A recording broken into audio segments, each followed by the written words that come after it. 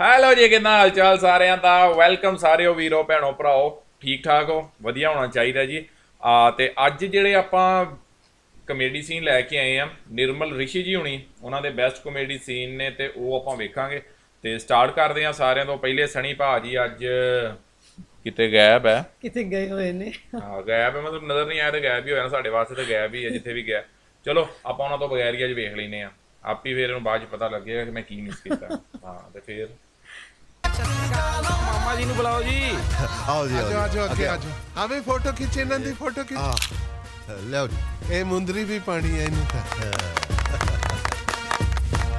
ਬੀਆ ਨੇ ਸ਼ਰਮਾ। ਪਿਓ ਆਵੇ ਜੀ। ਕੰਬਲ। ਆ ਕੀ ਟੀਚਰ ਵੇ? ਮੁੰਡੇ ਦਾ ਤਾਂ ਪਿਓ ਹੈ ਨਹੀਂ। ਮੈਂ ਤੁਹਾਨੂੰ ਰਿਸ਼ਤੇ ਵੇਲੇ ਦੱਸਿਆ ਸੀ। ਕੀ ਗੱਲਾਂ ਕਰਦੇ ਹੋ ਮਾਤਾ ਜੀ? ਮੁੰਡੇ ਦਾ ਪਿਓ ਆਪ ਰਿਸ਼ਤਾ ਕਰਨ ਆਇਆ ਸੀਗਾ। ਤੂੰ ਕੌਣ ਹੈ ਵੇ? ਮੈਂ ਕੁੜੀ ਦਾ ਪਿਓ ਹਾਂ ਜੀ। ਕੁੜੀ ਦਾ ਪਿਓ ਤਾਂ ਸਰਕਾਰੀ ਅਫਸਰ ਲੱਗਿਆ ਹੋਇਆ ਹੈ। ਤੂੰ ਤਾਂ ਮੈਨੂੰ ਸਰਕਸ 'ਚ ਕੰਮ ਕਰਨ ਵਾਲਾ ਲੱਗਦਾ ਬੁਲਾਓ ਕੁੜੀ ਦੇ ਪਿਓ ਨੂੰ। ਮੈਂ ਕਰਦੀ ਹਾਂ ਗੱਲ। ਉਹ ਮੈਂ ਹੀ ਕੁੜੀ ਦਾ ਪਿਓ ਹਾਂ। ਸਤਨਾਮ ਸਤੀ ਨੂੰ ਸਰਕਸ ਵਾਲਾ ਕਹਿ ਦਿੱਤਾ। ਮੁੰਡੇ ਦੇ ਪਿਓ ਨੂੰ ਬੁਲਾਓ। ਮੈਂ ਆਪ ਗੱਲ ਕਰਾਂਗਾ ਉਹਦੇ ਨਾਲ। ਮੁੰਡੇ ਦਾ ਪਿਓ ਹੁਣ ਕਬਰਾਂ 'ਚੋਂ ਨਿਕਲ ਕੇ ਤੇਰੇ ਨਾਲ ਗੱਲ ਕਰਨੀ ਆਊਗਾ। ਹੁਣ ਤਾਂ 22 ਸਾਲ ਹੋ ਗਏ ਪੂਰੇ ਹੋਏ ਨੂੰ। ਬਰਾਤਾਂ ਤਾਂ ਨਹੀਂ ਬਦਲ ਗਈਆਂ। ਹੈ ਮੁੰਡੇ ਦਾ ਪਿਓ ਤਾਂ ਉਹ ਨੱਚਦਾ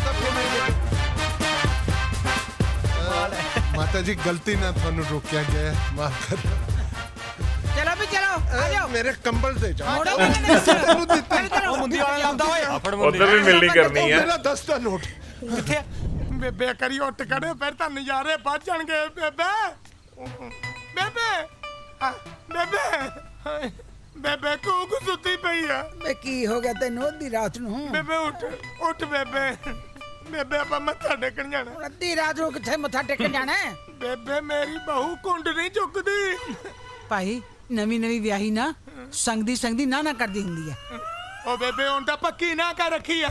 ਕਹਿੰਦੀ ਪਹਿਲਾਂ ਬਾਬੇ ਟੱਲਿਆਂ ਦੇ ਜਾਵਾਂਗੇ ਉੱਥੇ ਮੱਥਾ ਟੇਕਾਂਗੇ ਫੇਰ ਮੈਂ ਕੁੰਡ ਚੱਕੂਗੇ। ਫਿਰ ਤਾਂ ਉਹਨੇ ਬੜੀ ਸਿਆਣੀ ਗੱਲ ਕੀਤੀ ਹੈ। ਹਾਂ। ਐਂ ਕਰਦੇ ਆ ਆਪਾਂ ਸਵੇਰੇ ਚੱਲਦੇ ਆ। ਬੇਬੇ ਬੇਬੇ ਮੇਰੀ ਗੱਲ ਸੁਣ ਬੇਬੇ। ਹਾਂ। ਜਦੋਂ ਤੱਕ ਤੂੰ ਕੱਪੜੇ ਲੀੜੇ ਪਾਉਣੇ ਆ ਉਦੋਂ ਤੱਕ ਸਵੇਰ ਹੋ ਜਾਣੀ ਵੀ ਚੰਦਰਾ ਹੌਲੀ ਬੋਲ।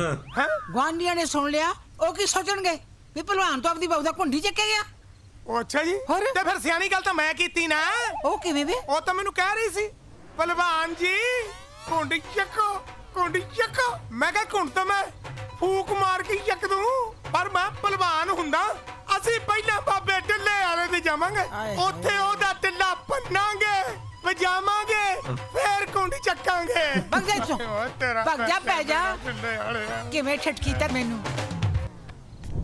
ਓ ਬੇਬੇ ਆ ਜਾ ਹੁਣ ਕਿ ਟਿੱਲੇ ਵਾਲੇ ਤੋਂ ਕਹਾ ਕੇ ਤੂੰ ਤੁਰੇ ਗਈ ਕਿਤੇ ਨਹੀਂ ਭੱਜੀ ਜਾਂਦੀ ਤੇਰੀ ਬਹੂ। ਹਾਂ।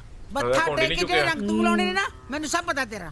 ਉਹ ਚੱਲ ਬੇਬੇ ਐਵੇਂ ਨਾ ਮਾਰਿਆ ਕਰ। ਵਧਾਈਆਂ ਜੀ ਕੁੜੇ ਤੈਨੂੰ ਵੀ ਬਹੁਤ ਬਹੁਤ ਵਧਾਈਆਂ ਆ ਚੋਰੀ ਚੋਰੀ ਕਿੱਥੇ ਲੈ ਚੱਲੇ ਨੂੰ ਨੂੰ? ਇਹ ਚੋਰੀ ਚੋਰੀ ਕਾਹਦਾ ਕੁੜੇ।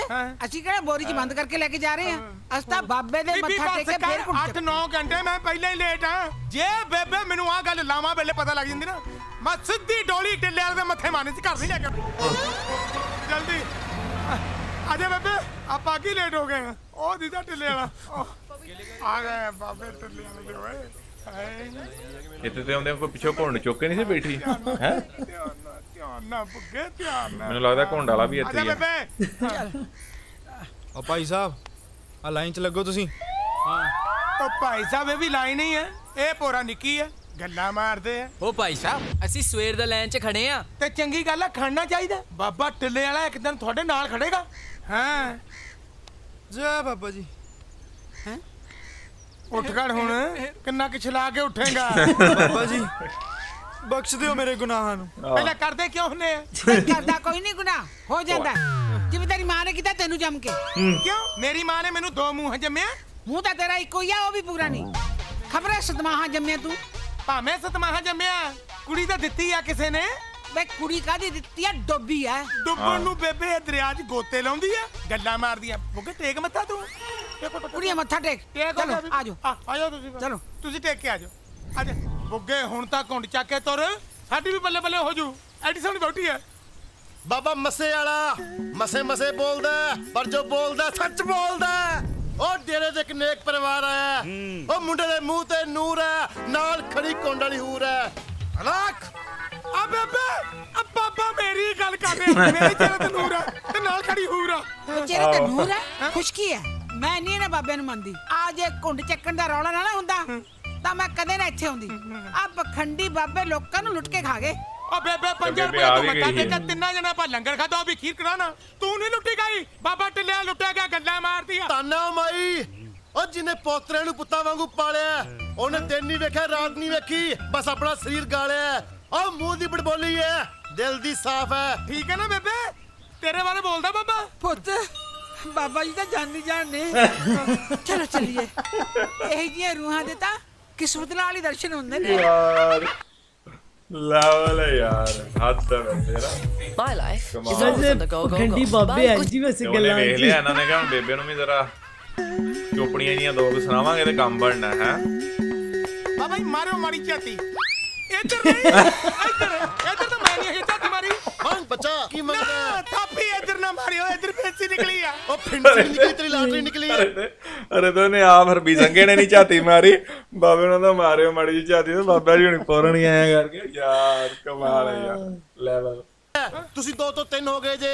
ਓਏ ਬਾਬਾ ਜੀ ਦੋ ਦੋ ਦਿਨ ਕਿੱਦਾਂ ਹੋਗਾ ਮੈਂ ਤਾਂ ਅਜੇ ਕੁੰਡ ਨਹੀਂ ਚੱਕਿਆ ਹੈਗਾ। ਉਹ ਮੂਰਖਾ ਪਹਿਲੇ ਦਾਦੀ ਪੋਤਾ ਸੀ। ਹੁਣ ਘਰ ਚ ਨੋ ਖੇਡਦੀ ਹੈ ਕਿ ਨਹੀਂ? ਐ ਬਾਬਾ ਜੀ ਆਪਣੇ ਪੇਕੇ ਭਾਵਾਂ ਸਟਾਪੂ ਸਟੂਪ ਖੇਡਦੀ ਹੋਵੇ। ਐ ਸਾਡੇ ਤਾਂ ਕੱਲ ਰਾਤੀ ਆਈ ਹੈ। ਹੋਰ ਬੜਾ ਲਿਆ। ਹੋਣਾ ਸੀ। ਮਾਈ ਤੂੰ ਮੁੰਡੇ ਦੇ ਵਿਆਹ ਚ ਕਾਲੀ ਕਰ ਗਈ ਹੈ? ਕਾਲੀ ਕਾਦੀ ਬਾਬਾ ਜੀ? ਕਾਲੀ ਮਹਿੰਦੀ ਲਾ ਕੇ ਤੇ ਮੁੰਡੇ ਦਾ ਸਾਕ ਕਰਾਇਆ। ਉਹ ਸਮਝੀ ਨਹੀਂ ਮਾਈ। ਮੁੰਡੇ ਦਾ ਵਿਆਹ ਹਫਤਾ ਪਹਿਲਾਂ ਹੋ ਗਿਆ। ਜੇ ਮੁੰਡੇ ਨੇ ਮੱਸਾ ਤੋਂ ਪਹਿਲਾਂ ਕੁੰਡ ਚੁੱਕਿਆ ਤੇ ਘਰ ਚੋਂ ਕੋਈ ਬਜ਼ੁਰਗ ਚੁੱਕਿਆ ਜਾਣਾ ਹੈ। ਮੈਂ ਬਾਜਾ ਓਏ ਜਮਦੂਤਾਂ ਨੇ ਤੇਰੀ ਰੂਹ ਬਾਅਦ ਚ ਕੱਢਦੀ ਪਹਿਲੇ ਕੋਟ-ਕੋਟ ਤੇਰਾ ਜਲੂਸ ਕੱਢਣਾ। ਉਹ ਤੈਨੂੰ ਏਦਾਂ ਖੜਨਗੇ ਜਿਵੇਂ ਟਰੈਕਟਰ ਮਗਰ ਸੁਹਾਗਾ ਖੜੀਦਾ। ਗੱਲ ਸੁਣ ਵੇ ਮੁੰਡਿਆ। ਬੱਸੇ ਤੋਂ ਪਹਿਲਾਂ ਘੁੰਡ ਚੱਕਣਾ ਤਾਂ ਦੂਰ। ਜੇ ਪੱਖੇ ਨਾਲ ਘੁੰਡ ਹਿੱਲ ਵੀ ਗਿਆ ਨਾ ਤਾਂ ਤੂੰ ਹਿੱਲਣ ਜੋਗਾ ਨਹੀਂ ਰਹਿਣਾ। ਆ ਗੱਲ ਸੁਣ ਬੇਬੇ ਤੂੰ ਤਾਂ ਇਹਨਾਂ ਬਾਬੇ ਯਕੀਨ ਨਹੀਂ ਕਰਦੀ ਸੀ। ਹੁਣ ਤੂੰ ਬੜੀ ਛੇਤੀ ਮੰਨ ਗਈ ਹੈ। ਨਾ ਫਿਰ ਰਿਸਕ ਲਵਾਂ। ਔਰ ਦਾ ਕਾਹਦਾ ਕੰਮ ਆ ਬੇਬੇ? ਸਾਰਾ ਕੁਝ ਤਾਂ ਤੂੰ ਦੇਖ ਲਿਆ। ਹੁਣ ਮੈਨੂੰ ਵੀ ਦੇਖਣ ਦੇ ਕੁਝ। ਬੇ ਮੈਂ ਆਪਦੇ ਪੜਪੋਤੇ ਦਾ ਮੂੰਹ ਦੇਖਣਾ ਹੈ। ਓ ਬੇਬੇ ਇਹਦਾ ਮੂੰਹ ਮੈਂ ਦੇਖੂੰਗਾ ਫੇਰ ਹੀ ਪੜਪੋਤੇ ਦਾ ਮੂੰਹ ਦੇਖੇਂਗੀ। ਕਿ ਤੈਨੂੰ ਚੋਰੋਂ ਦੀ ਪੁੜੀ ਚੋਂ ਕੱਢ ਕੇ ਪੜਪੋਤਾ ਫੜਾਦਾ ਚੂਰਨ ਦੀ ਪੁੜੀ ਚੋਂ ਨਿਕਲ ਕੇ ਆਊਗਾ। ਭਕਾਈ ਮਰੀ ਜਾਂਦਾ ਹੈ। ਚੱਲ ਕੁੜੀਏ ਓ ਮੈਂ ਲੁੱਟਿਆ ਗਿਆ ਓਏ ਬਾਬਾ। ਬਸ ਜਾਏਗਾ ਆ ਜਾ। ਬੁਕਿਆ ਆ ਜਾ। ਬੇਲਾ ਜਾ। ਜਾ ਮਜ਼ਦੂਰੀ ਦੇ ਕੇ ਤੇਰਾ ਓਏ ਹੋਏ ਬੁੜੀਏ। ਬੇਬੇ। ਹਾਂ। ਆ ਡਾਂਕਾ ਤੋਂ ਰੱਖੀ ਆ ਕੋਲ ਖੁੰਡੀ ਆਪਣੀ।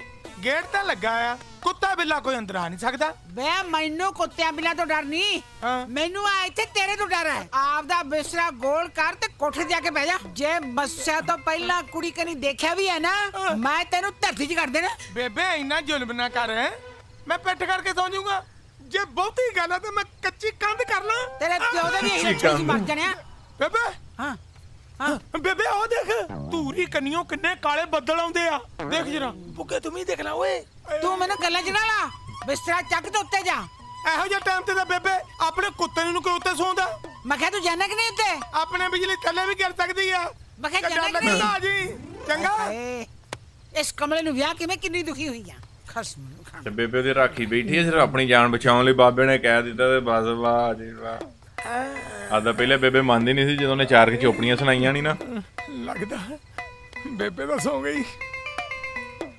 ਹਾਂ ਕਿਤੇ ਸੌਂ ਗਈ ਹੋਵੇ ਤਾਂ ਵਧੀਆ ਗੱਲ। ਬੁੱਗੇ ਮੈਂ ਆ ਗਿਆ ਓਏ।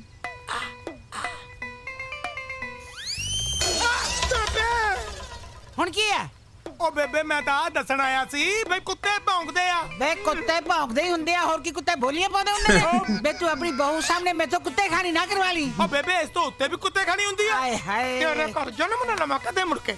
ਹਾਂ। ਕਿੱਥੋਂ ਵਿਆਹ ਲਿਆ ਚੰਦਰਾ ਮੈਂ? ਹਾਂ।